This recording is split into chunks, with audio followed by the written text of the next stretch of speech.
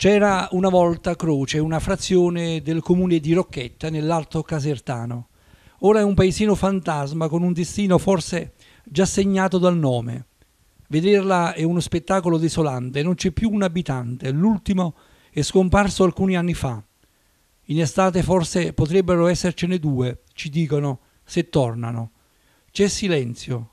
Solo un cane si sente abbaiare a distanza dal piccolo paesino nascosto dei rovi ai piedi di Monte Maggiore, una volta crocevia per i tanti devoti di San Salvatore, una chiesa inerpicata lassù in alto. Qui sono scappati tutti, non c'è più nulla, di mezzi pubblici nemmeno a parlarne, nessuna scuola, nessun medico, nessun ufficio comunale, nessun negozio. Una frazione cancellata certamente anche dalle politiche sbagliate, dalle stesse amministrazioni comunali che si sono succedute che probabilmente non hanno fatto abbastanza per frenare lo spopolamento. Un cirone infernale per i giovani, i bambini, gli anziani, tutti scappati. Noi ci siamo andati a Croce, è una giornata di sole, ci lasciamo alle spalle Formicola e Ponte Latone e saliamo per qualche chilometro. Non c'è nessuno, proviamo ad entrare nel piccolo vicolo, l'unico che consente l'accesso in centro, con la speranza di incontrare qualcuno. Troviamo invece un'atmosfera surreale, un silenzio assordante. L'unico rumore sono i nostri passi sui sanpietrini sistemati di recente. Non ci sono insegne di un vecchio negozio, una vecchia cabina telefonica, un'indicazione, ma anche niente traffico, niente stress, niente lite tra condomini, né un gattino. E che gli darebbe da mangiare?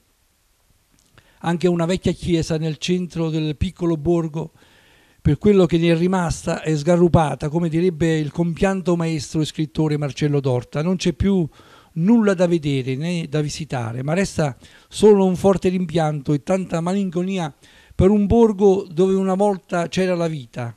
Circa una settantina di persone, ci ricorda un anziano di un paese vicino che conosceva per nome tutti gli abitanti di Croce e ora non c'è neppure con chi parlare ma noi non ci arrendiamo e ci imbattiamo con un anziano che questo posto lo ha vissuto, frequentato e i suoi ricordi sono ancora vivi. In particolare mi ricordo che eh, la gente ci accoglieva mm, molto bene, ci faceva una festa perché noi andavamo a San Salvatore che è una piccola chiesetta a strapiombo su Monte Maggiore e, e, niente, mi ricordo, ripeto questo qua, che la gente era molto felice che noi facevamo questo pellegrinaggio. Era molta la gente qui di Croce?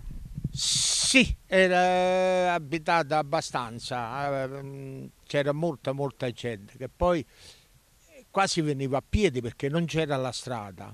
Da Rocchetta venire a Croce si veniva a piedi, come pure Santo Salvatore dopo hanno fatto la strada, ma all'epoca si veniva a piedi, allora la gente era contenta, si festeggiava, ci faceva, ci, ci faceva da mangiare, ci dava da bere, tutte queste cose bellissime. Questa è Croce, il borgo fantasma nel comune di Rocchetta in provincia di Caserta, quella che noi abbiamo visitata e quella che noi vi abbiamo raccontato. Da Rocchetta e Croce tutto, Lorenzo Applauso per casertasera.it.